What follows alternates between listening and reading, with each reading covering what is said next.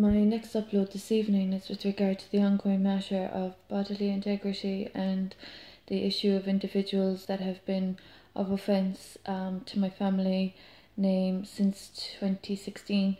So, this little upload is just to briefly describe how it has been, as um, there have been different variants and different modes of practice of culprits in Tralee County Kerry that publicised and made it common knowledge that they were dismantling my light body.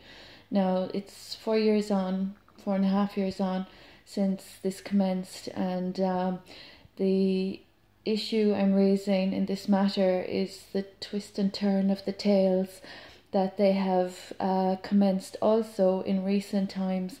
Um, most notably, I would think in the past four, five months, there's been a new variant of stories, um, a new um, plot put forward on a forum and platform that um, is not at all accurate.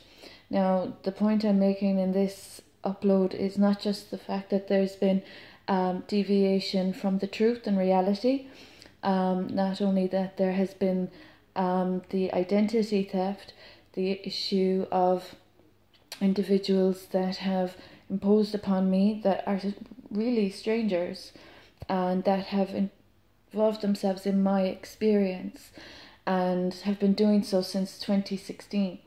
So they have um, convoluted their own version of events and they have dominated a stage with power players um, acting on their behalf, obstructing my constitutional rights.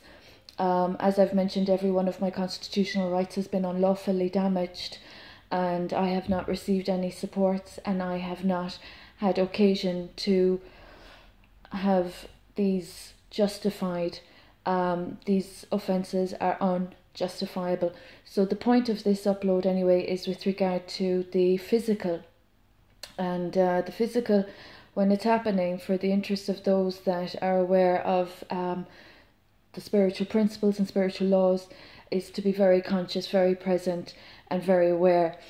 And um, at the moment, it has transpired that they have uh, not replenished what they have damaged since 2016 2017. They've continued to defy the laws.